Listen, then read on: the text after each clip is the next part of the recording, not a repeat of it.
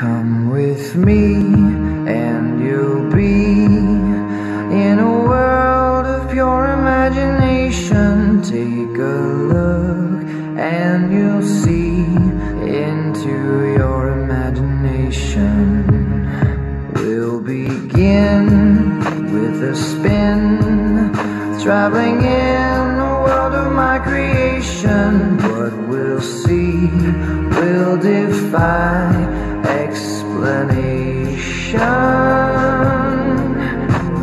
And if you wanna view paradise, simply look around and view it. Anything you want to do it. Wanna change the world, there's nothing to it.